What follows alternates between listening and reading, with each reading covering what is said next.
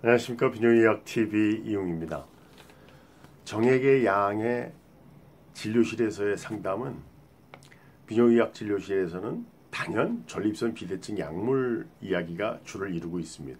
처방 빈도도 제일 많으니까요. 전립선 비대증은 20, 30대, 30, 40대, 40, 이게 60대 이후까지 이렇게 점점 호르몬에 의해서 사이즈가 커지면 이 정액을 생산하는 그 이행대의 세포들이 커지면서 소변을 압박해서 배뇨 증상이 나빠지는 것이 전립선 비대증의 생리적인 변화라고 말씀을 드렸는데요. 이 중에서 전립선 비대증 치료제 중에 이 커지는 사이즈를 줄이는 약, 굉장히 유명한 약입니다. 이 공안에서 나오는 남성 호르몬이 마지막에 작용해서 DHT로 변해서 전립선의 크기를 크게 만드는 이 부분을 억압하는 약.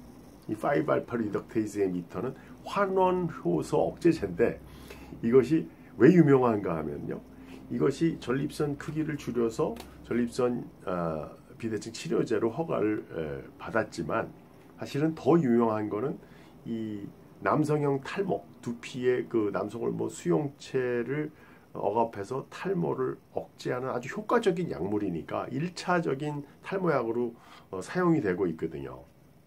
이 약제는 뭐 피부과 선생님뿐만 아니라 모든 의사들이 다 이제는 사용을 다 하는데 사실 비뇨의학과 의사가 전립선 비대증 환자한테 이 약을 쓸 때는 어, 고민이 많습니다. 왜냐하면 어, 이제 지금은 중년 이후의 성생활이 워낙 활발하다 보니까 사실은 탈모보다 이 배뇨 증상에 대한 개선 효과와 아울러서 정액 양이 감소되는 것이 자신의 성생활의 가치관과 얼마나 배치되는가 이것이 상담 내용에서 굉장히 중요한 부분을 차지하게 되었거든요.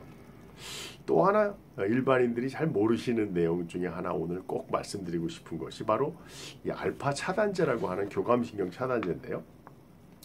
이렇게 생리적으로 커져 있는 전립선 비대증의 전립선 요도부의 긴장도를 늦꿔줘서 요 부분의 긴장도를 늦꿔줘서 소변 줄기를 좋게 하는 요 알파 차단제는 실제 비뇨의학과 진료실에서는 1차 약으로 훨씬 더 많이 사용을 합니다. 시작할 때 이 약제들을 사용하게 하고 있고요.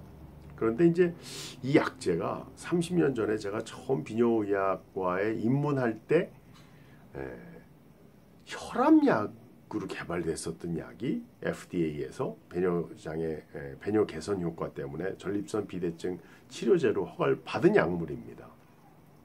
그런데 이 약제는 앉았다 일어날 때 혈압이 떨어지고 어지러움증이 생기는 기립성 저혈압을 유발하는 약물이기 때문에 어떤 경우는 오래 에, 또 드시는 분들 중에서 어, 혈압약을 끊게 되는 분도 있고요. 또는 이 혈압 저하 때문에 약을 못 드셔서 다른 종류의 약으로 드셔야 되는 분도 꽤 있습니다.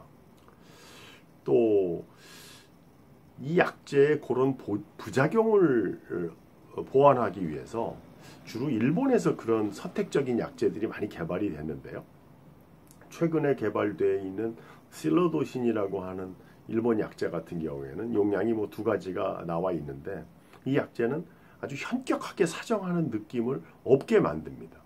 어, 사실 환자에게 아무 이야기 안 하고 성기능이 유지가 되고 있는 환자 중노년층에게 처방했을 때 가장 심하게 환자분들이 어 이거 성적인 만족도에 너무 영향을 받습니다고 하는 약제는 사실은 알파 차단제 중에 그 약제인데 어, 일반적으로 내과 계열 선생님들 생각으로는 이제 그 호르몬 그 환원 효소 억제제가 더 심하지 않을까 이런 생각을 하실지 모르지만 실제 비뇨기학과 진료실에서 가장 많은 어, 이 상담을 하게 되는 약제는 어, 선택적인 알파 차단제가 더 많습니다.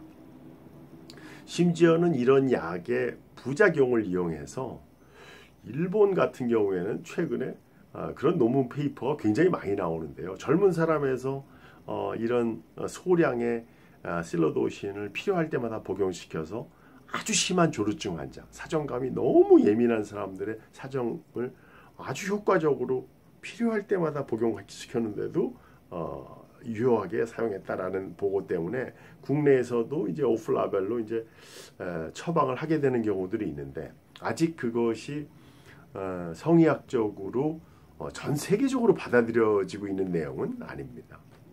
어찌됐든 어, 저로서는 어, 비용약 진료실에서 전립선 비대증 환자들을 주로 어, 처방을 하는 이런 알파 차단제와 단독 또는 이제 그 환원 효소제 억제제를 병용요법을 하거나 또 단독으로 쓰는 이런 여러 가지 조합 약제에서 환자마다 느끼시는 정액의 양의 변화 또 성적인 만족도의 정액의 보존 두 마리 토끼인 것 같습니다. 비뇨의학 TV 이용이었습니다.